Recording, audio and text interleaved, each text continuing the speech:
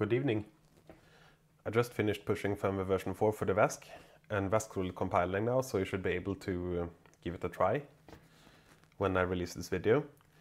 And the reason I jumped to version 4 in the firmware versioning numbers is that I have implemented a quite significant new feature for some applications. And that feature is high frequency injection and essentially what it allows you to do is to track the motor position down to zero speed by injecting a signal into motor and uh, utilizing the fact that the inductance is uh, of the D and Q axis is position dependent. So let me show a, short demo of this, or actually two demos. The first one is with uh, this motor here that has a pen taped to it and um, this encoder here, I think I used it in a few videos a few years ago as well. But the difference this time is that uh, there is no position sensor on this one. It's only connected directly to the VESC. And it will determine the position down to zero speed by injecting signals to it. We will hear some beeping in this motor. I don't know how it sounds in the camera, but in uh, reality I think it's uh, not as loud as uh, BLDC on low speed, but it can still be quite annoying. So let me plug it in. And now they should follow each other.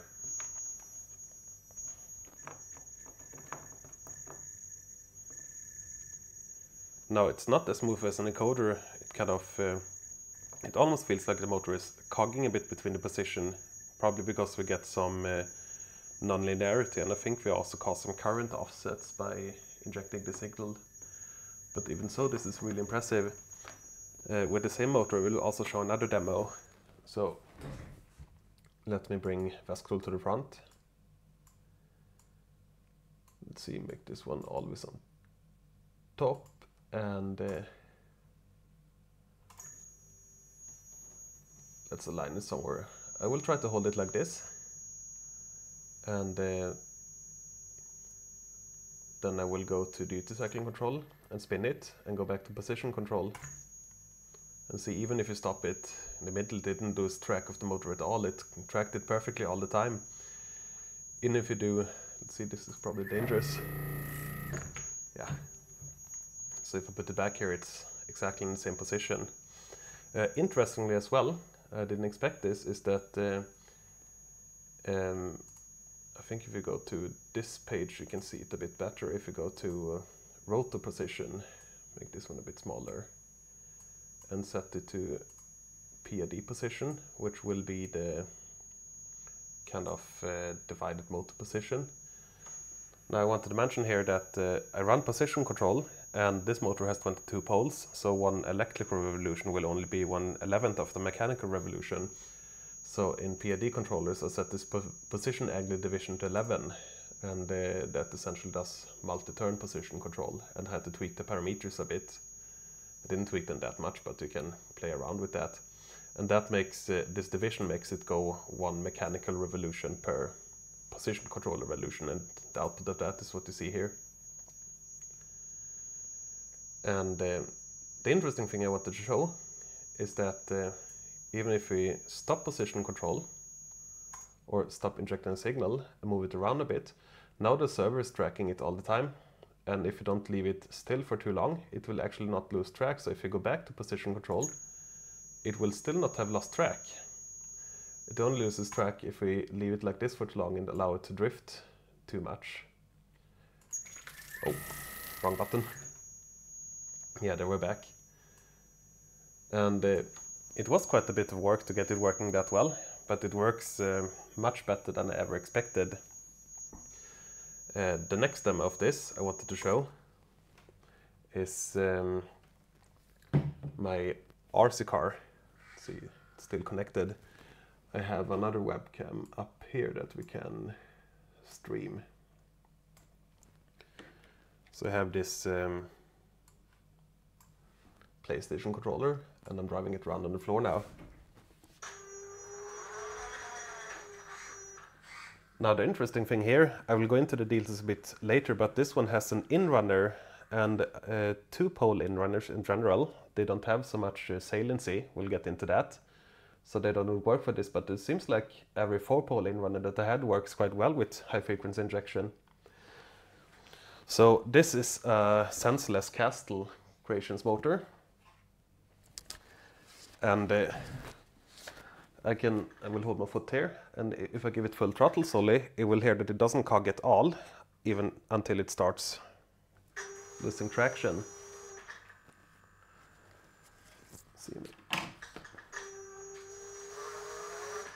And that's actually a lot of torque. Even if I block the wheels with my feet, it will it will draw something like I think I set the current limit to 80 amps in this one. It tracks it perfectly all the time. I can even push myself on the chair and I'm not that light so I kind of it doesn't have yeah that didn't work maybe I can push the table a bit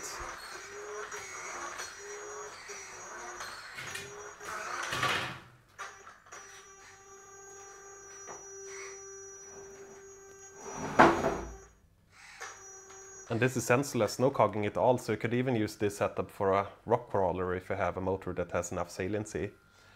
And that's really more than ever expected from this technique. I also tried it on my longboard and my mountain board. And uh, except the noise, I think it's more or less flawless. And it's not that noisy.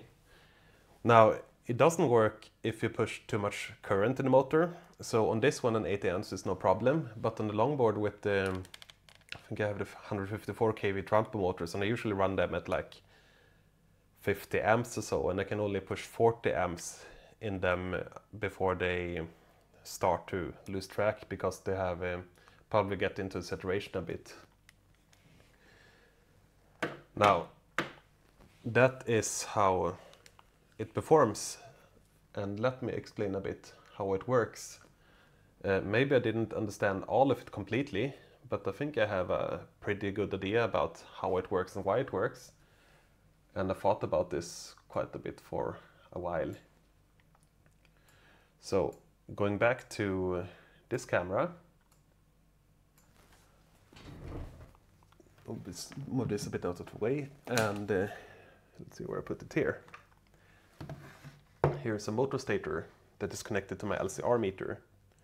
We'll switch on and it will measure inductance in this one. Uh, we are at yeah 221 microhenry. Now one property of an inductor is that if you hold uh, something with um, a permeability or I think it's called permeability different than air in front of it you can see the inductance will change. So even though this one has some teeth, if I just take my side cutter and hold it on top here, you will see that we go from uh, up to 230 microhenry almost. If we remove it again, it will go back down. And this is only by holding it on uh, one of quite many teeth here. So it is an effect that can be measured quite well. So moving my third camera into the capture area, we can have a look at the whiteboard. And essentially, if um, what is happening here is that uh, if you have a motor with the magnets up here and the stator teeth, uh, most of them uh, they are not that flat or that symmetric around the stator teeth. So um, when they are aligned with the stator, you will have uh, some air gap here and you have some properties of the magnet and when they're disaligned you have it differently. So you have an inductance that is dependent on the rotor position. And uh, I have some pictures here as well. They are about a different thing, but we'll get, get, get back to them shortly. Uh, before that, I realized I didn't prepare this. Uh, let me pause the video and look for some pictures. All right, so here's a photo of an uh, inrunner that I took apart. And this is a four-pole inrunner. And as you can see in the rotor here, is that um, you can clearly see where the magnets are when there are no magnets and this causes uh, this difference in inductance as well because when you're aligned you get uh, some properties and when you disalign it you get other properties.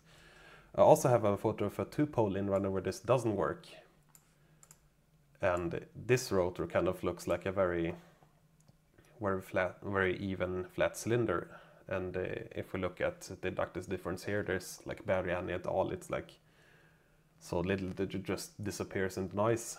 So this motor didn't work, but essentially every motor that was not a two-pole in-runner that I had here, it worked really well, this technique. And uh, that was a happy surprise. So let's go and have a look at VESC Tool. Now, if we go to the terminal and switch on high frequency plot, then we can go to real-time data and experiment plot.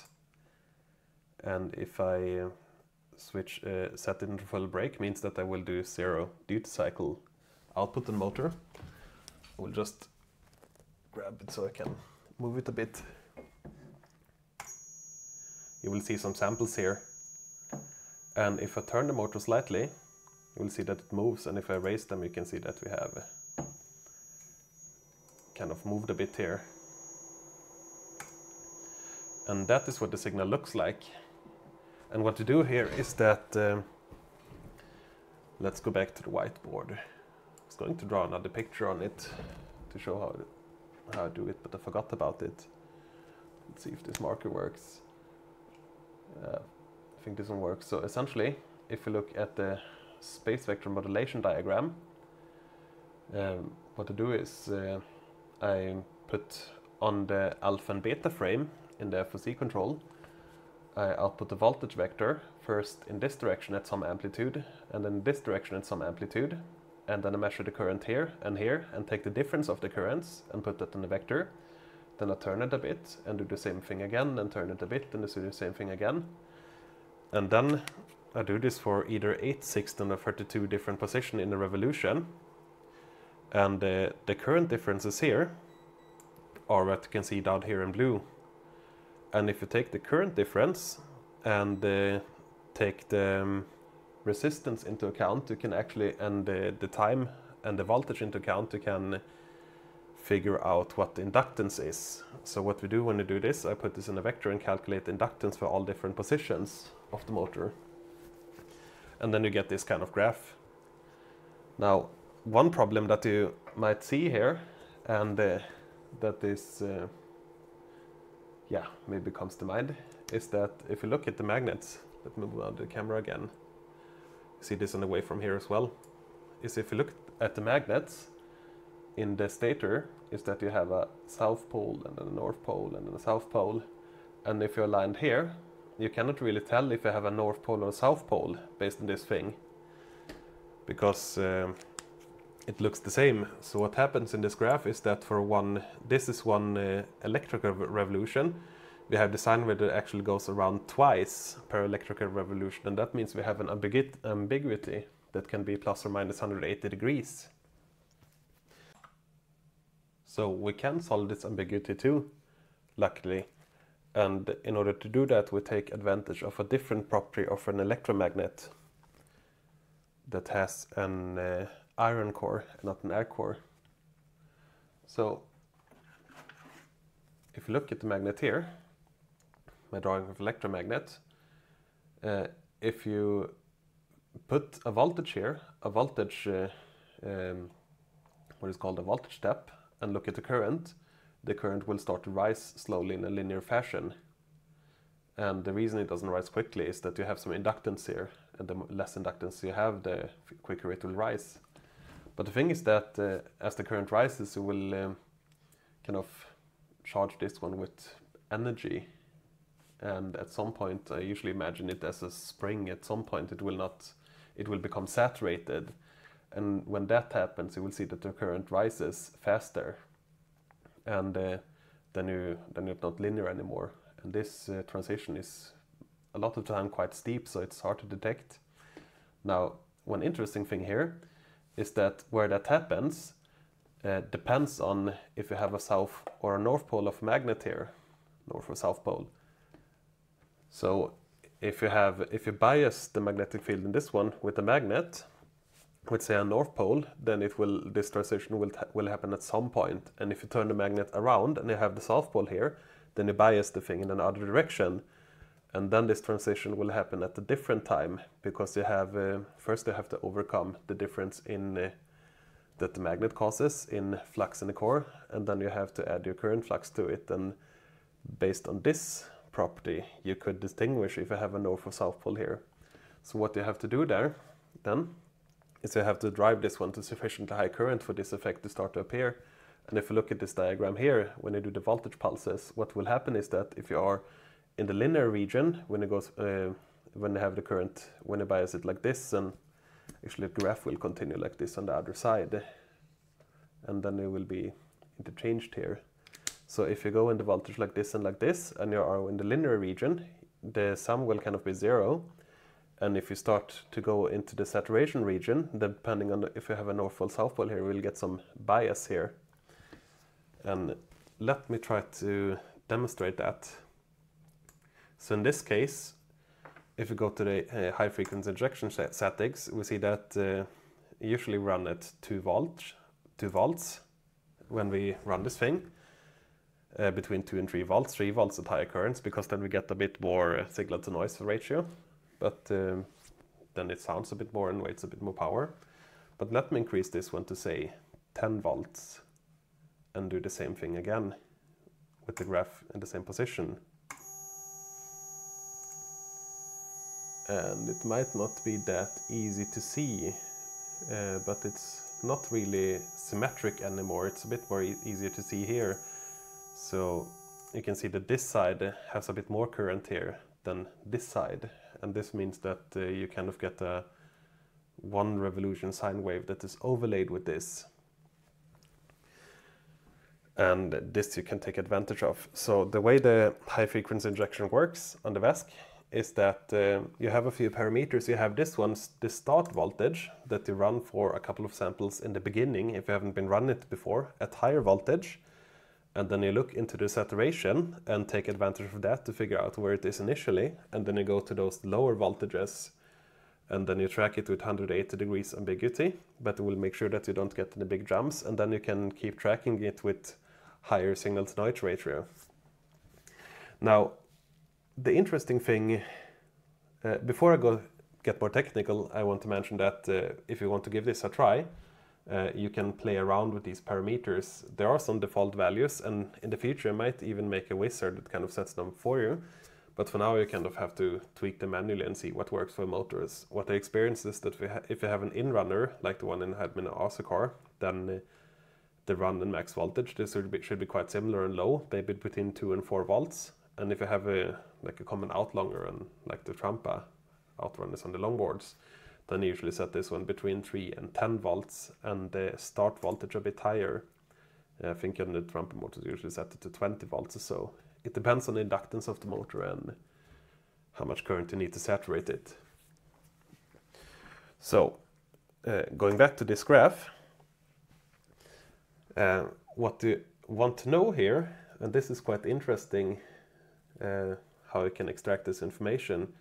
So what do you want to know here, you want to know you have this sine wave that makes two revolutions uh, across this thing. You have um, another sine wave that makes one revolution across the electrical revolution, and then you have some DC offset as well.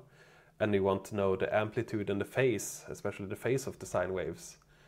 And to find uh, a sine wave within uh, a signal, uh, the Fourier transform is quite useful.